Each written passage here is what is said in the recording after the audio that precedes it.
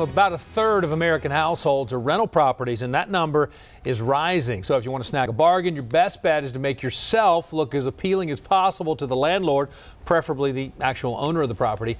And here to show you just how to do that is our own real estate expert, John Adams, and landlord, right? That's yeah. right. John, welcome. How are you? Thank you. I'm great today. Hope you are. I'm doing great. So, you know, you've done this a time or two. A time so or two. As a landlord, what are landlords looking for in a tenant? Well, in the landlord world, there are two types of tenants. There are hardworking, upright citizens that pay their bills on time and take care of the property. And then there are the unemployed bums that mm-hmm. want to live for free in mm-hmm. luxury and complain about course, it constantly. Yeah. And my point is, if you're trying to get a bargain, you better convince that landlord that you're the first type and not the second type. And I'm always amazed that so many applications come in that just seem they haven't given it any thought whatsoever. Right. And so we've got some ideas. Yeah, you got three ideas, three things you can do. And so let's start with number one. You say impress the landlord with your story. What do you mean by that? I think it's a good idea to have a, a summary of who you are, what you're doing, what you like and what you don't like, and show that you've got some ambition in life. Mm-hmm. Um, uh, I would sort of make it in the form of a combination generic rental application that you fill out with a typewriter. Right. Because I can't tell you how many applications I can't read them. Sure. I mean, just people hen scratching. And I would put with that things like um, a copy of your credit report. You can get those for free. Saves the landlord time, and they know now that you know what's mm-hmm. on their credit report.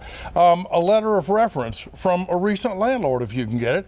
Copy of your most recent lease I'd like to see where you've been living, mm-hmm. and I'm going to ask you why you're moving. Um, go ahead and tell me employment verification, that type of thing. Sort of a applicant resume, and we've got these. This all will be listed on the Fox Five website. Almost like you're looking for a job here, It right? is. Okay, so you also number two, you want to impress the uh, landlord with your finances. How do you well, do that? Well, again, my biggest fear as a landlord is you're not going to pay the rent. Sure.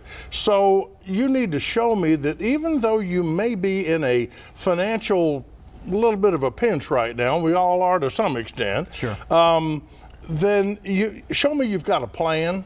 Show me you understand where your finances are, that your expenses don't exceed your income, because if they do, I can't rent to you. And if you try to hide it, I'm going to find out and it's going to be worse for everybody. Yeah, that's no good. So uh, give me um, evidence of a savings account. So many people overlook that today.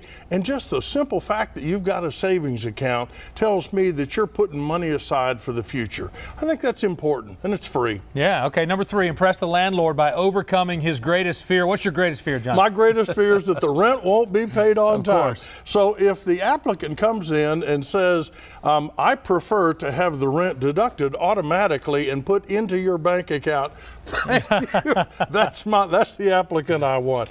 I got to get that rent in or I can't make the mortgage payment and we're all going to have problems. All right, you're going to be hanging out a little bit, right? Yep, one hour, Facebook, right here on I, Fox I 5. guarantee people are going to have a lot of questions because Great. the rental market is more competitive than ever right it now. It really is. Shortage there's a there's a shortage right now, and this is some good advice for folks to get a competitive advantage when they go into the marketplace. All right, good stuff, John. Thanks a lot as always. And John's going to be here for the next hour, as he mentioned, to answer all your real estate questions on our Fox 5 Atlanta Facebook page. You definitely want to take advantage of that.